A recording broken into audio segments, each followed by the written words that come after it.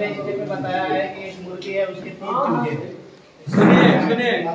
बच्चों को ज्ञान भी हो जा रहा है मुर्गी के बारे में और यहाँ पे संख्या ज्ञान भी हो जा रहा है। हम लोग पूछ सकते हैं कि मुर्गी के कितने चूजे हैं। तो बता सकते हैं सर कि मुर्गी के तीन चूजे हैं गिन के फिर नेक्स्ट स्टेप से हम देख रहे हैं हम पूछ भी सकते हैं कि मुर्गी क्या कर रही है या फिर हमने दीवार बनाया उससे मुर्गी क्या करे कूद रही है। वो भी बच्चे बिल्कुल दीवार के बारे में जानते हैं मुर्गी के बारे में नहीं जानते हैं। फिर थर्ड स्टेप में आकर देख रहे हैं कि अब फिर पूछ रहे हैं कि बच्चों को गिरता हुआ दिखाया गया। क्योंकि हम पूछ बता रहे हैं, बच्चे तो पूछ भी सकते हैं कि मुर्गी क्या कहते सर कि मुर्गी तो चढ़ गई है, लेकिन बच्चे अभी नहीं चढ़ पा रहे हैं, बच्चे गिर जा रहे हैं। यहाँ पे गिरते भी दिखाया फिर नेक्स्ट वाले में दिखाया दिखाया गया है मुर्गी दीवार पे चढ़ के कूद गई और बच्चे भी प्रयास किए, पुनः प्रयास किए, फिर उन्होंने भी, वो भी दीवार पे चढ़ गए।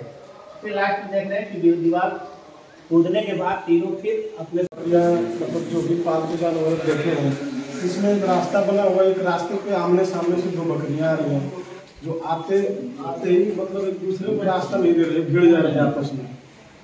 दूसरे चित्र में हमें दिखा है कि एक बकरी जो है, छोटी वाली बकरी को दबा देती है, और इसके ऊपर से चढ़ के जा रही थी कि बकरी नीचे बैठी हुई है। फिर तीसरे चित्र में दिखाया गया कि दोनों अगल बगल से क्रॉस करके जा रही है। इस माध्यम से बच्चों को बताएँगे।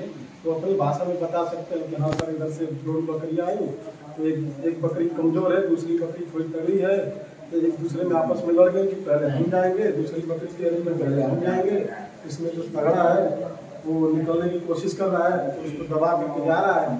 फिर तीसरे चित्र में दोनों एक दूसरे से निकल जाते हैं। इस चित्र, तीसरे चित्र में हम बता भी सकते हैं कि आपस में क्या बात हुआ होगा। समझौता कर लिए होंगे कि नहीं, ठीक है, चलो हम दूसरे को साइड दे रहे हैं, चले जाएँगे। तुम भी निकल जाओ, हम भी निकल जाए। इसी पे कहानी बच्चे बना के अपनी भाषा में बता सकते हैं। जैसा कि हम जानते हैं कि बच्चे कहानी बहुत रुचि लेते हैं, उनसे सीखते हैं। तो इसमें कौवा प्यासा है और पानी की तलाश में इधर उधर घूम रहा है। अंत में उसे घड़ा दिखाई देता है। तो उस घड़े में पानी है, लेकिन जब वो अगले चित्र में हम देखेंगे, जब पानी पीने का जब प्रयास करता है तो उसको ये समझ में आता है कि पानी तक मैं पहुँच नहीं पाऊँगा। तो वह देखता है कि पास में कंकड़ पड़ा है। तो अगले चित्र में देख रहे हैं, जब कंकड़ पड़ा है तो उस कंकड़ को उठा उठाकर इसमें डाल रहा है। जब कंकड़ पड़ जाता है काफ़ी संख्या में, तब तो पानी ऊपर आ जाता है। तो कौवा उसको पानी को पी लेता है। इसको इसके बाद हम बच्चों से दो चार प्रश्न करेंगे। जैसे प्रश्न कर सकते हैं कि इस कहानी में कौन प्यासा था? उस पक्षी का क्या नाम है? कौवे ने प्यास बुझाने के लिए क्या तरकीब लगाई? और ये क्वेश्चन और भी पूछा जा सकता है कि कंकड़ डालने के अलावा और भी कोई तरकीब हो सकती है जिससे कौवा प्यास बुझा सकता है? इसके बाद हम बच्चों से ये भी कर सकते हैं कि इस आधार पर